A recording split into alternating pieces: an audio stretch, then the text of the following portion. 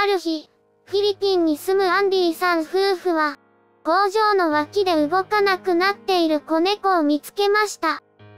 夫婦は子猫が全く動かなかったため、最初はもう死んでいると思ったそうです。しかし、近づいてみると足がわずかに動きました。子猫が助けを必要としていることは明らかでした。子猫はその小さな体で、自分の運命と必死に戦っていたのです。子猫は埃にまみれ、右目は海で閉じられていました。夫婦は衰弱した子猫を保護すると、急いで動物病院へ連れて行きました。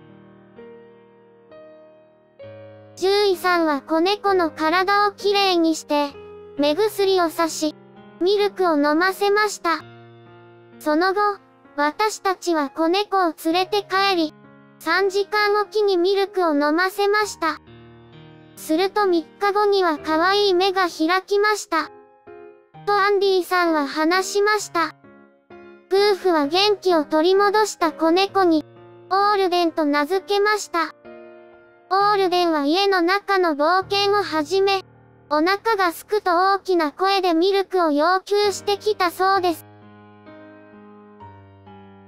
そして保護から2週間後、少し成長したオールデンは、一人でウェットフードを食べられるようになりました。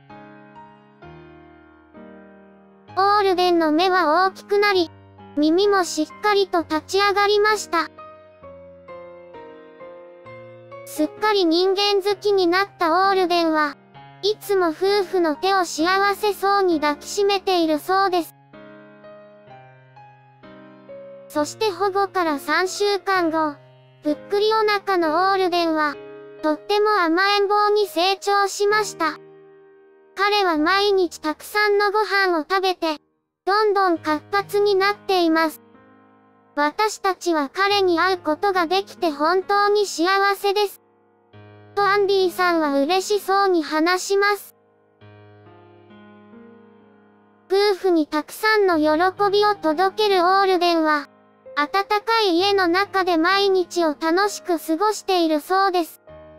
こうして工場の脇で動かなくなっていたオールデンは、偶然通りかかったアンディさん夫婦のおかげで、元気を取り戻すことができました。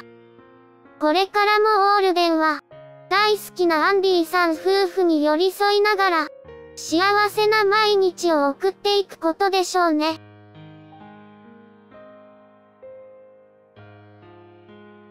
ご視聴いただき誠にありがとうございました。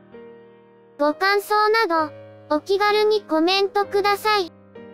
チャンネル登録をお願いします。